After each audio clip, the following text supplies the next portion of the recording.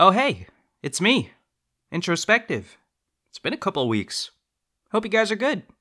Anyways, Nintendo came out yesterday with a tweet explaining that the upcoming Mario movie starring Chris Pratt Mario will be delayed until the spring of 2023.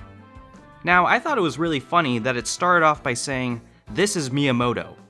Like, that just sounds like a fake post off the bat from a troll account. This is Miyamoto.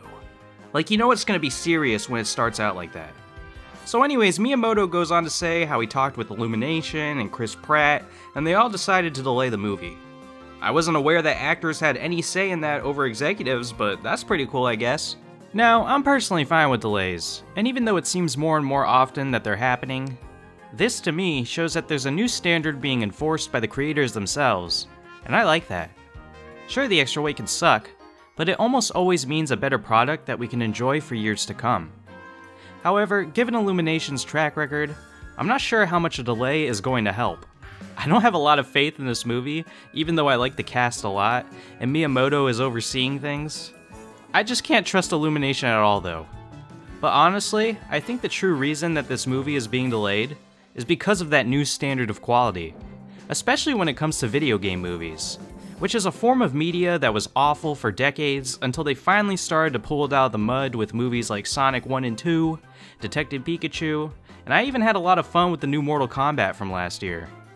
It's gotten to a point where we actually expect good video game films now, and Sonic 2 really elevated the bar once more by becoming the highest grossing movie at the box office in its opening weekend. A video game movie has conquered the world. So clearly Miyamoto saw this, then took one look at Mario flossing or whatever the fuck he was doing that caused the delay, and said, yeah, we need to make this better. Sonic has struck the fear of God into Mario for the first time since the 90s. And I think this is a beautiful thing to see the competition between them heating up once more. I really hope that Illumination can deliver a product that can compete with Sonic 2 in terms of quality.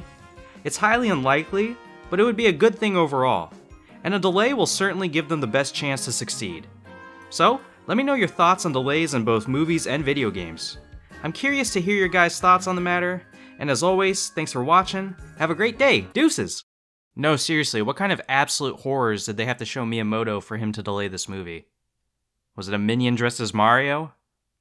Was it Mario dressed as a minion? Was it Luigi twerking?